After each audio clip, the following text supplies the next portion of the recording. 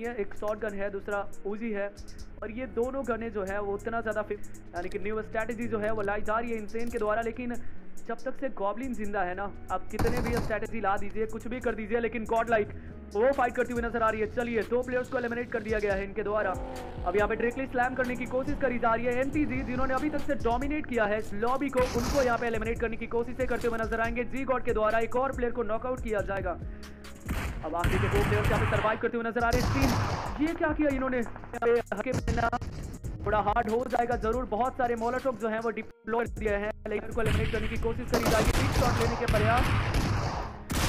और एक और प्लेयर को नॉकआउट करेंगे। चलिए, आखिरकार उस थ्रेड को डाउन किया। सांस लेने की कोशिश करेगी यहाँ पे एलिमिनेट करने की कोशिशें करी जाएगी।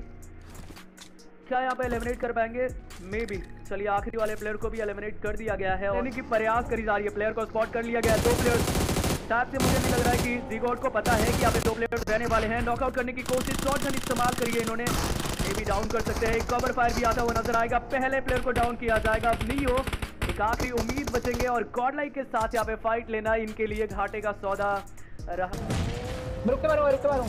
तू जा अबे बहुत स्लो हो गई ब्रो गाड़ी गाड़ी स्लो हो गई। मेरे को नहीं दिया यहाँ पे यहाँ पे बस रिवाइव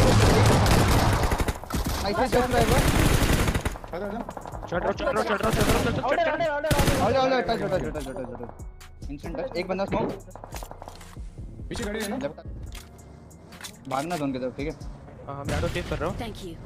नीचे से जा रही है। वो हाँ मैं जोन लेके रख रहा हूँ।